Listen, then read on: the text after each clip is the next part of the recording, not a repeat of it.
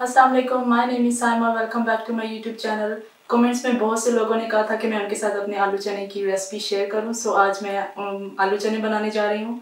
सो so, सबसे पहले मैं आपको इंग्रेडिएंट्स बताऊँगी कि हमें किस किस चीज़ की ज़रूरत होगी आलू चने बनाने के लिए। सो so, शुरू करते हैं हम okay let's start that's the all ingredients which we need for make aloo chana. मैंने एक पटाटो ले लिया था उसको मैंने इस तरह से कट कर लिया था। मैंने हाफ़ के जी चना लिया था मैंने इसको रात को भिगो के रख दिया था सुबह मैंने इसको बॉईल किया था एंड ये अच्छे से बॉईल है। एंड हमें मैंने एक अनियन लिया था एंड उसको इस तरह से काट लिया। हाफ़ मैंने टमाटो लिया थोड़े से स्लाइसिस जिंजर के लिए लिए थोड़ा सा गार्लिक लिया एंड मैंने ग्रीन चिली ली ली।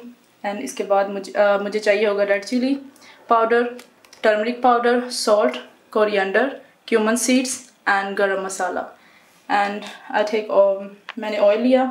एंड मैंने जो चने जिसमें मैंने बॉईल किए थे वो मैंने पानी फेंका नहीं क्योंकि इस सारा फ्लेवर जो चनों का होता है वो इसमें पानी में आ जाता है। सो so, मैंने यही पानी यूज़ करूँगी चने बनाने के लिए। सो so, सब अब मैं इन सारी चीज़ों को ब्लेंड कर लूँगी अच्छे से। मैं आपको दिखाऊँगी ब्लेंडर में कैसे। मैं सारी चीज़ें अब ये ब्लेंड करूँगी ब्लेंडर में डाल के।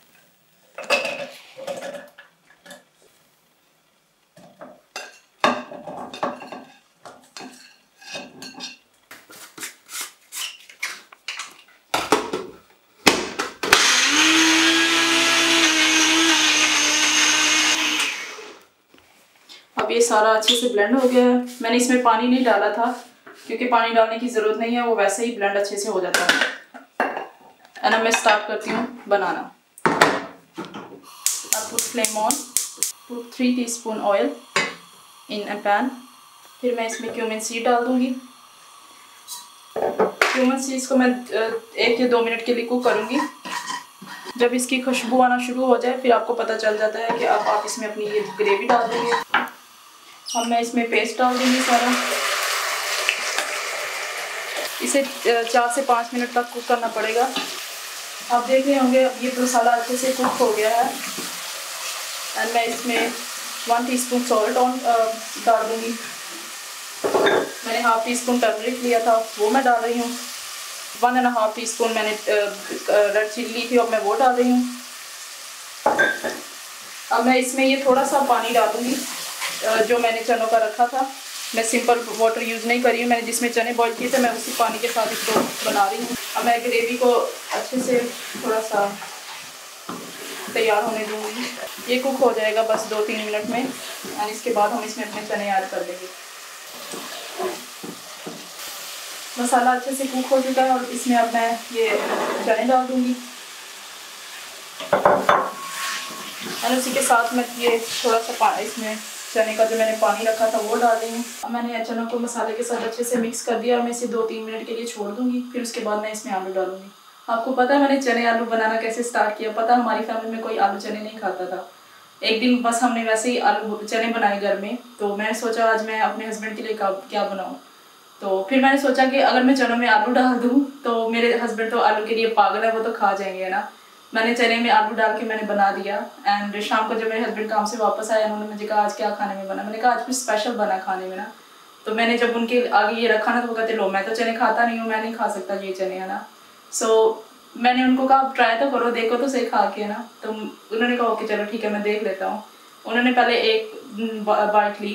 एंड उसके बाद वो दे खाई जा रहे खाई जा रहे कुछ कह, कह नहीं रहे एक रोटी खा ली दो खा ली कुछ कह नहीं रहे चनों की प्लेट भी खाली हो गई और एंड में पता क्या कहते हैं? आज के बाद ये मेरी लिस्ट में शामिल कर दो।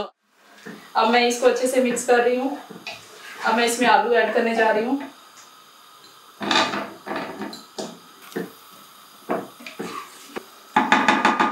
अब मैं इसे थोड़ी देर के फाइव मिनट के लिए छोड़ दूँगी लो हीट पे। एंड मैं इसका इसके ऊपर डाल के फाइव मिनट के लिए इसको मैं छोड़ रही हूँ। उसके बाद आलू एंड जो चने चने तो ऑलरेडी कुक हैं, आलू भी अच्छे से कुक हो जाएँगे। उसके बाद हम इसमें कोरिएंडर एंड गरम मसाला डाल देंगे और हमारे आलू चने तैयार हो जाएँगे। Now the potato is ready so I am gonna add coriander and garam masala. I am gonna add garam masala and coriander and mix all these things together. And again, I'm gonna leave this for two minutes on low flame. now my aloo chana is ready they look so nice and I'm gonna put in the plate and then I'll show you the final look.